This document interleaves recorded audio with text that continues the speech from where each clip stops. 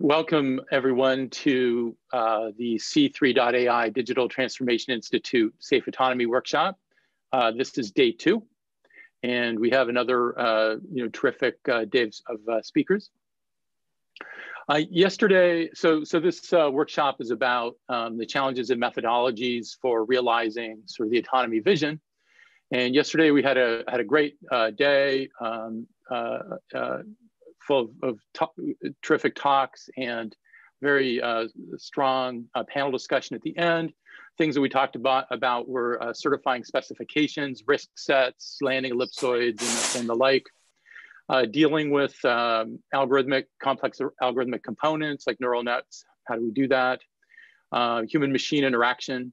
We also talked about policies and technology's role in, in uh, shaping that, which we may talk about on the panel again today. Here's today's schedule. So again, it's arranged in uh, three uh, mini sessions of two 30 minute talks each, uh, followed by a panel session, which all the speakers will participate in. Uh, one uh, programming change, um, the, the 1130 to 12 talk will now be given by uh, Katherine Driggs Campbell from the University of Illinois. So with that, um, no. let me turn it over to Claire no. for the first talk. Thanks very much, Gare. And uh, it's a pleasure to uh, start the day off with uh, our first speaker, Pieter Abbeel. So, um, and a pleasure to introduce Pieter. So Pieter's a professor in EECS at UC Berkeley. He's also a founder of a company called Covariant.ai, um, which specializes in uh, designing AI robotics for the real world, um, focusing in particular on industrial automation. Um, I would say that Pieter, um, you know, when he moved to Berkeley uh, after he finished his PhD at Stanford, he really kind of transformed the um, the the robotics group at Berkeley because he brought the the kind of um, expertise and the implementations of machine learning and really started to integrate it into the robotics program in a way that had never been done before. And in that way, I'd say he's a he's a um, you know a pioneer not only at Berkeley but also in the field of bringing machine learning into robotic systems.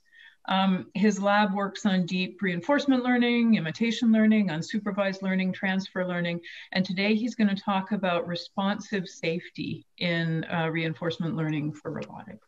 Thanks very much. Pieter. Thank you, Claire, for the very kind intro, and I'm so glad to have, have you at Berkeley and, and your students always in my classes and so forth. It's, it's a lot of fun. Um, can you see my screen? Yes, So, um, diving right in here, uh, I'm going to cover two things in this session. One is about responsive safety. The other one is about stabilizing learning. So let's start with the responsive safety.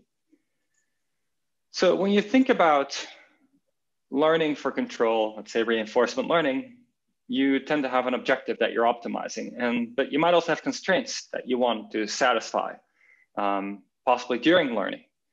And so then the question is, how do you bring in those constraints? And if, you know, if you work in optimization quite a bit, of course, you'll say, hey, if I can optimize an objective, I can just augment my objective with Lagrangian terms, and there I have a constraint optimization problem that's being solved by just solving a regular optimization problem.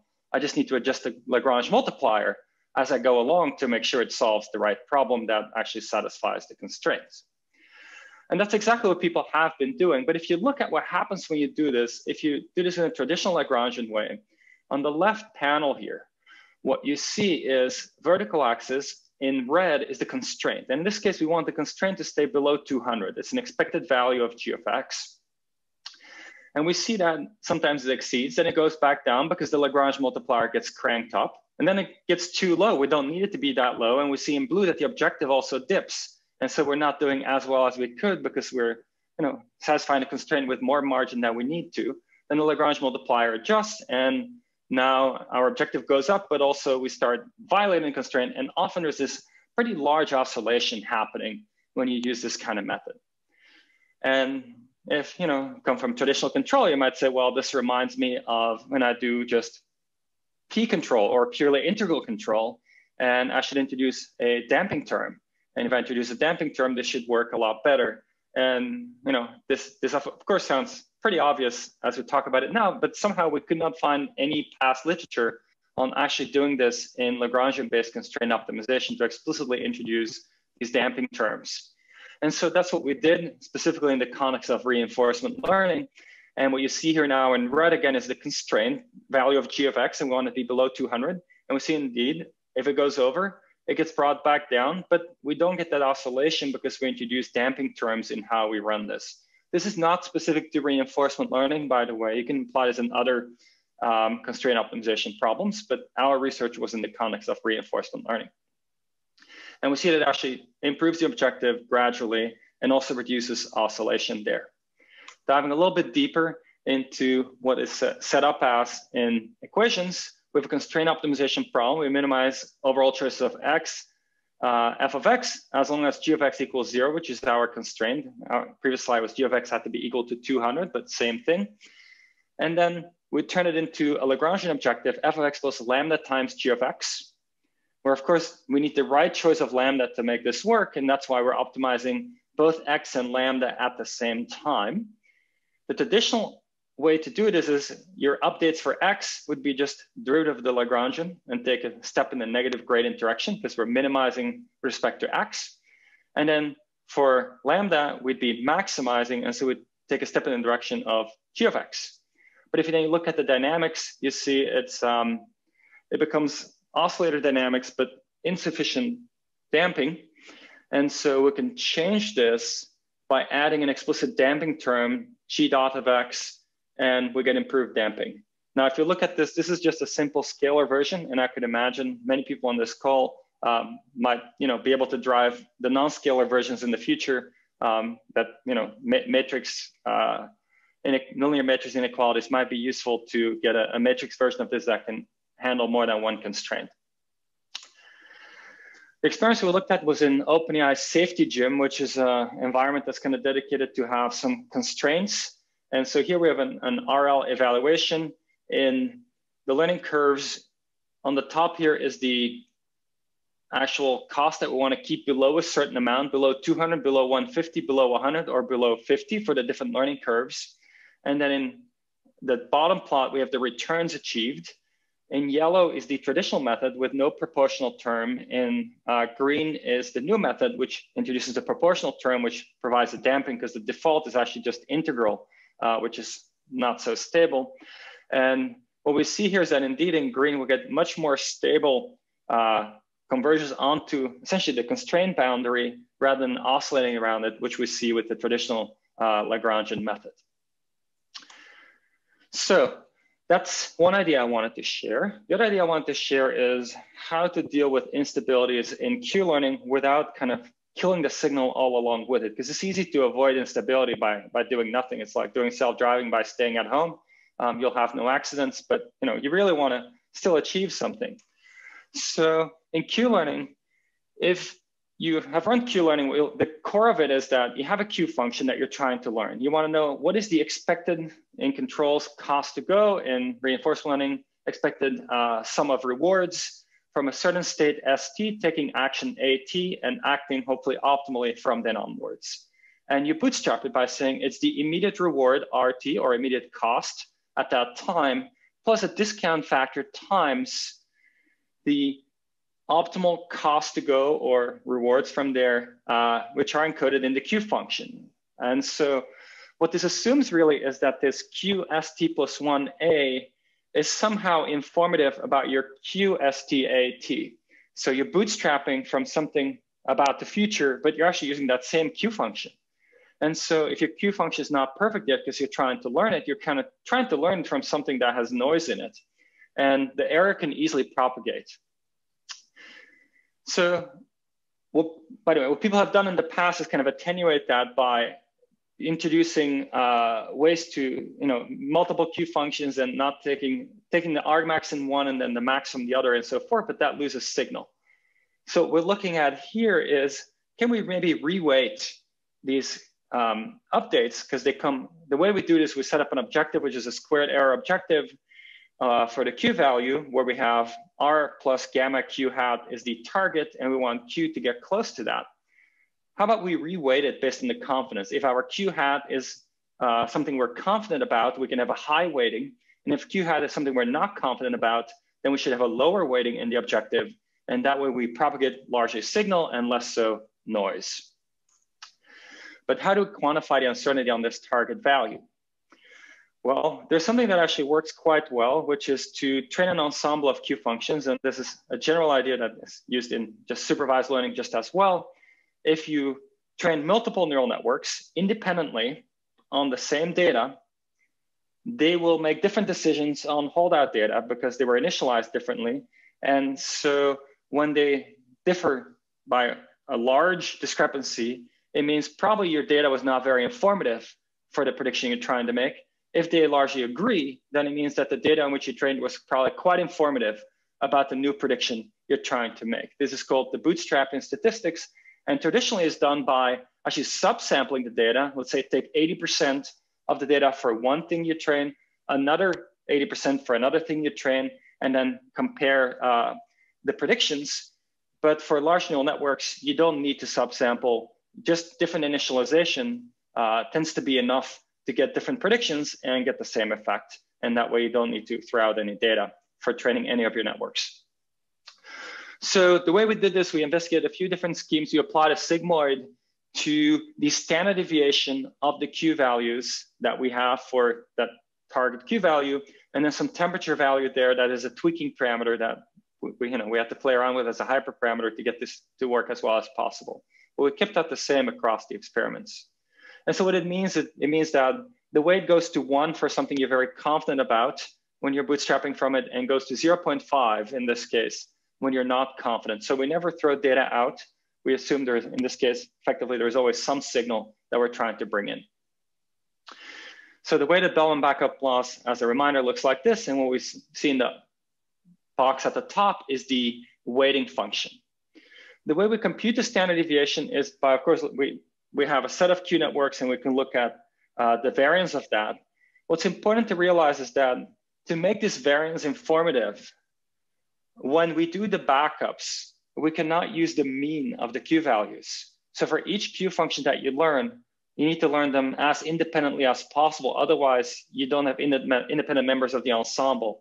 So the, each Q function is trained with its own target Q function, but the weighting is where they interact. And that's the only place they interact. The weighting determines, well, is determined by the variance across the Q functions in the ensemble. Otherwise, completely independently trained. So once you have an ensemble, which admittedly is a bit of extra effort, and that's that's some room for improvement here. If you can achieve the same idea without having to construct ensembles, it could, could save you some compute and, and storage. Um, but once you have an ensemble, you can also start using that when you choose actions to explicitly explore. Because as you're learning, you want to take actions that lead you to things you don't know much about yet. And so if you look at the actions to take, you say, well, which action maximizes mean plus standard deviation of my Q function estimate? Because then I might go see things that um, optimistically could be good. They could be bad, but optimistically they could be good. And so it's a good idea to go explore and see what happens. One thing we also noticed is that, and where this ensemble becomes extra important, is that once you introduce this notion of explicit exploration based on the standard deviation, um, your Q learning becomes more off policy. If you, if you run Q learning, it's meant it's an off policy method. You can use it with any kind of data. But in practice, when you run Q learning, you typically run it epsilon greedy or Boltzmann uh, softmax, which means that you're largely on policy which means that in practice, when you run Q-learning in most incarnations, you get natural feedback from the data that you collect. And so there's a natural stabilization in Q-learning. Once you start explicitly exploring like we do here, where you look at the standard deviation to choose your actions, you're actually explicitly going off policy against what your Q function might recommend. And that actually tends to destabilize it. And what you'll see is that the fact that we use an ensemble to stabilize with the weighted loss function becomes much more important once we do this um, UCB exploration. So do we have in the complete picture here, we have UCB exploration during Q-learning. based on the mean and standard deviation of the Q function at the current state. And so we take the optimistic action, which drives it quite off policy from what the mean would predict in many, many cases, which in turn tends to require this.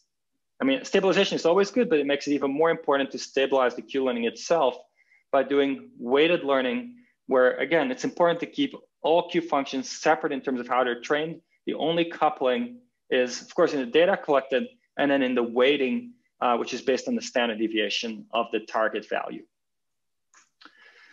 So we evaluated this on three standard environments, OpenAI Gym, which is often used for learning from state uh, and continuous actions, DeepMind Control Suite, which is often used for learning with visual inputs and continuous actions, and then Atari, which is often used for learning from visual inputs and discrete actions. So let's look at learning from state first. Uh, the method I described we call Sunrise, and the reinforcement learning algorithm used in this case uh, is soft actor critic, which is probably the most popular um, on, well, not entirely on policy. It's an actor critic method. It's, it's close to on policy, but not entirely on policy method. Um, and most often used for continuous control tasks these days. And we, and we see here that soft actor critic already has some of the stronger performance, adding the UCB um, exploration and the stabilization consistently improves performance over soft actor critic and almost consistently has the best performance. Poplin is a model-based RL method. Um, METRPO is another model-based RL method. PETS is also model-based, and then TD3 is very similar to soft actor critic is probably the best way to summarize it. Um, so consistently um, improving on soft actor critic and three out of four outperforming the others and often by a pretty large margin. Then something we did, oh, so on the previous slide, this was for um, 200,000 time steps, which is pretty short training. It's nice for experimental turnaround, but some environments like humanoid require longer training. So here we have um, 800,000 time steps. And so what we see here is that we get an effect that keeps growing actually over time where regular SAC hasn't really learned to solve humanoid yet at 800,000 time steps, but Sunrise, thanks to its better exploration and stabilization, is actually doing uh, very well after 800,000 time steps. Then we looked at uh, learning from pixel inputs. So in DeepMind Control Suite, uh, again, a range of tasks is 100K and 500K steps. And here we build on top of RAD. So RAD and DrQ and curl are three recent methods that are uh, very good at combining self-supervised losses um, or data augmentation with reinforcement learning. And it was shown in the past uh, year that thanks to having data augmentation and or self-supervised losses, it is possible to learn from pixel input almost as effectively as from direct access to state in these um, DeepMind Control Suite benchmarks. So we built on top of RAD, which is one of the three that are uh, state of the art on this, added the ideas I described, the UCB exploration and the stabilization by weighted Bellman uh, losses. And we see that we get consistent improvement and more or less consistently the best performance on all of these environments. Then we also looked at the Atari games where the story is still a bit more balanced. Uh, the model-based method simple still does best about half the time. Um, but again, Sunrise, which here builds on Rainbow, which is uh, the most commonly used model-free Q-learning method for uh, Atari, Sunrise builds directly on that by adding the UCB exploration and the weighted Bellman uh, losses, consistently improves or almost consistently improves on Rainbow and achieves state-of-the-art in about half of the environments. Okay, so one thing you might ask is specifically, does the weighted Bellman backup reduce error propagation? So there's been a paper actually by uh, our Berkeley colleague, Sergey Levine, student uh, Aviral Kumar called DISCOR, which specifically looked at what if we introduce noise in the reward function? So explicitly are going to introduce noise in our reinforcement learning setup well, that noise might propagate and might make learning harder. And the DisCor method specifically tries to address this. And so we also compared Sunrise with DisCor on the environments from the DisCor paper. And we see that um, Sunrise, just like DisCor, is able to uh, you know, learn consistently, even though there is explicit noise uh, introduced in the learning process here. Uh, DisCor does it by looking at cumulative Bellman errors and also does a weighted Bellman backup by looks at cumulative Bellman errors and based on that decides to weight the, the backups um, rather than using an ensemble uh, to understand in some sense the, the intrinsic uncertainty we, we have about uh, the target values. So um, ready to wrap up here. The main takeaways for the sunrise part are that an ensemble can be used to prevent error propagation in Q-learning. Um, behind there, there's an additional benefit that once you have an ensemble, you can do explicit exploration, which is beneficial in off-policy methods like soft actor critic and uh, Q-learning. Um, in parallel, we've actually done experiments that did not report on here uh, for on-policy learning, uh, like uh, proximal policy optimization. There we found that it's already so stable in some sense that it doesn't really help uh, to have this additional stabilization. So the big benefit comes in the off-policy learning, which by default is a bit less stable and becomes even less stable once you make it more off-policy due to explicit exploration. There's a preprint that's online for this, and the code is all available. And I'm going to leave the remainder time for uh, discussion or you know making sure we stay on time. Thank you. Thank you very much, Pieter. Um, we have a, a, couple of minutes now for some questions. And as Gare said, you can unmute yourself and ask questions. You can ask questions in the chat, um, whatever you feel comfortable with. Um, and because I have a burning question, I'm actually going to start um, with the, the with one question kind of to launch us off. So, so Pieter, can you, and maybe this is a little bit of a broader question, but can you comment on um, the, uh, how, like, for, for example, for this ensemble method that you presented, how do you, um, how do you typically view this and other methods which need to do um, th there's some um, exploration and um, kind of testing out an interaction with the environment that needs to be done initially, right? In, in using learning methods like this, and in particular using an ensemble method like this. In, in a in a like a, a real robot scenario, um, like the kind that you've worked in and in both Berkeley and Covariant and other places.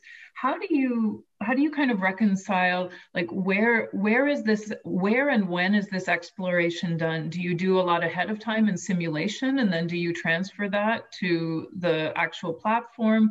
Do you do a lot of kind of testing of the platform in the lab before releasing it? Do you have kind of testing after you release it? What's the what's the framework there? If you could talk from your experience, both in academia and industry, to this, I think it would be really um, informative. Oh, ab absolutely. So th there, there's a lot of aspects. One is when, when we're doing algorithmic development, naturally, so almost all the early development happens in simulation because a lot of ideas can be tested in simulation first, um, with even though you have the real world in mind. From there, once there's signs of life, to get actually something working in the real world, um, collecting real world data is very time consuming and often costly. So almost invariably, we would first train in, in simulation, try to match the simulator pretty closely to real world. And so in practice, of course, matching it perfectly is, is not, not really possible. And so the most popular thing for us to do is to first put a good effort in trying to match it up.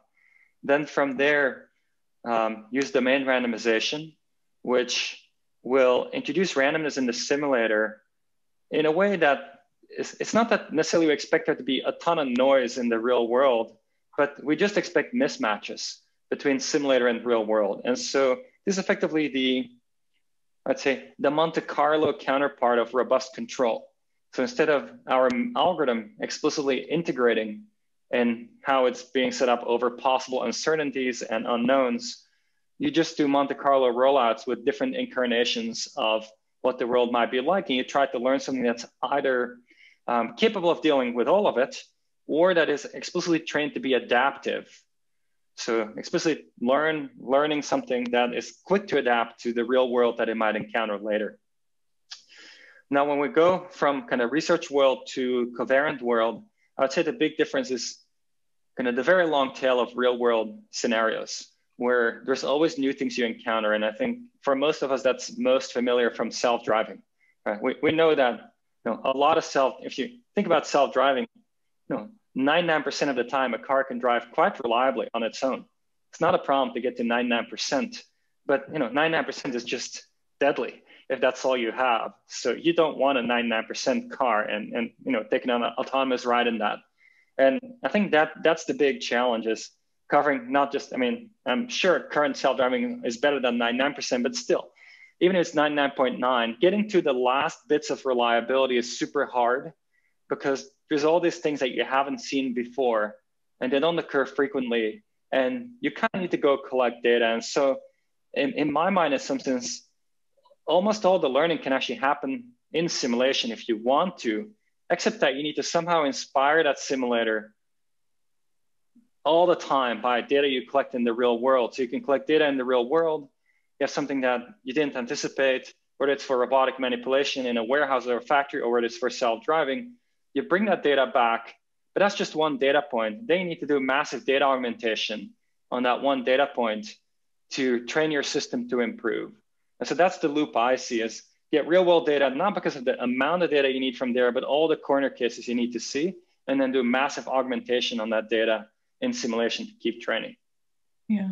No, thank you for that really thoughtful answer. I think that's um, a lot of uh, trying to understand how to deploy such systems and how to collect data so that we can feel more confident that um, what we're deploying is something that's going to behave well in the real world is, is really critical right now. Um, any uh, questions? So we have a couple minutes, one or two minutes left if there are additional questions. A quick question, Claire, can I go ahead? Yeah, Shrikant. Yeah, so uh, I guess in the second part of your talk, I, if I understood it correctly, you were uh, correcting for the bias that's introduced by not knowing the Q value on the right-hand side of the uh, Q learning equation. So there are other algorithms that have been suggested too for this, like double Q learning and various things. I was just curious how what you're suggesting compares with those and, and what are the benefits, additional benefits? Thanks. Yeah, so double Q learning, what it will do, it'll say, it'll keep two Q functions. So it's, it's a bit like having a small ensemble.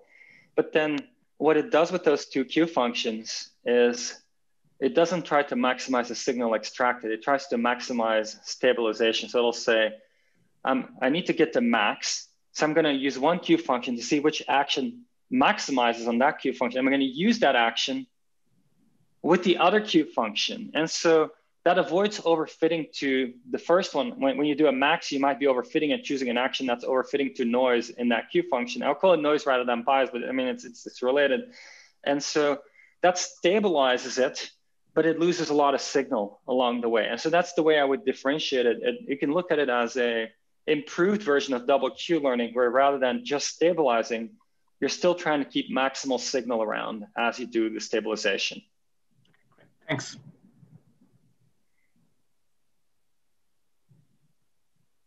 Thank you, Pieter. Um, any other questions? Yeah, just a quick one. Uh, Pieter, when you initialize the, the algorithm by choosing sort of different initial conditions, do you just do that uniformly or do you have a way to do that as well? Yeah, so it, it, it's something I've been actually proposing to my students to, to work on and investigate more theoretically what exactly needs to be done there. Because um, it's widely used to, to have an ensemble by just having random initialization, the standard random initialization scheme. And that seems to be enough. Whereas statistically, if you look at the literature, the theory says that you need to subsample different subsets of your data randomly to get the bootstrap effect. Um, but so far, we, we haven't actually made any, any, any progress. And part of it might also be the inclination of my students is on average a bit more empirical than it is purely theoretical. And so I think if somebody had a more theoretically inclined group, I think there's an opportunity there to try to dig in and understand, you know, what is actually needed to ensure that, you know, th this current practice in neural net ensembles is actually giving us the correct answer. And maybe we are doing it right, maybe not. Um, it'd be interesting to to It's working well. Yeah. yeah. Okay. Thanks. Yeah, I think that that's a really a really cool idea. This kind of mixture of uh, empirical and uh, perhaps pushing on the analytical as well, if possible. Um, thank you, Pieter.